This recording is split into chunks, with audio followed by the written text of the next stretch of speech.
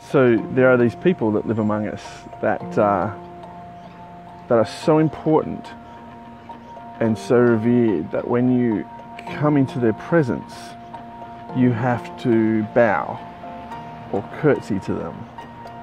You can't touch them. You can't put you know, commoner can put their hand on them or or approach them, you know, in any way. You you can't sit in their seat. A friend of mine uh, worked at Buckingham Palace in London uh, over the Christmas, over his uni holidays, and uh, he said you couldn't sit in the throne, in the Queen's throne. It was a treasonous act, and you could be hanged for it. You, you know, these these people, these royal people who are better than us, they, one of them gets a crown, which is like a hat that only they get to wear. like, it's their hat. It's a special hat, and only the Queen gets to wear the hat. I'm not even making this up. This is dress up adult style. If, if you can't quite grasp what it's like to have a royal person in charge of your country, it's like if you have a, if you live in a country now where uh, your head of state is a president or a prime minister, it's like from this day on, when their tenure runs out or when their presidency runs out or whatever, they're just going to stay on.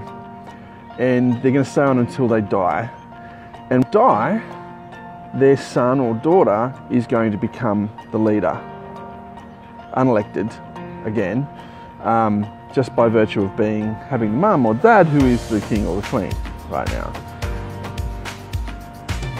And the best part is, if you're the queen of England, then you're actually the queen of 16 other countries as well. My queen, the Queen of Australia, is a prime great grandmother who lives in England on the other side of the world.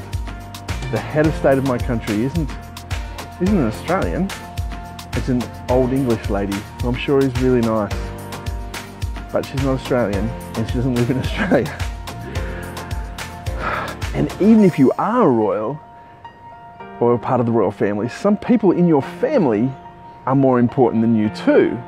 So if you're the second boy born into the family, you've got no chance of being the king, or you know, you're you're well done in line. Including if your big brother has a baby boy, he's in charge of, like he's in front of you, as well in the line to wear the hat. I mean, there's just so much about this. This is just ridiculous. But the biggest nonsense about the whole thing the whole notion that if you are somebody who believes in royalty, then you are also, you must first, to, to believe in this rubbish, you must first accept that some humans are born with a greater value than you.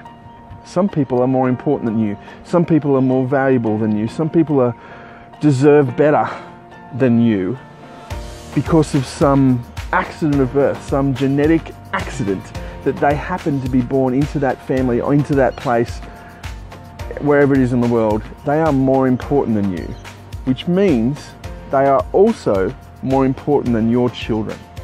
You think that somebody's children are more important and have greater value than your children. And I'm sorry, but if you think that, then you deserve to be someone's loyal subject.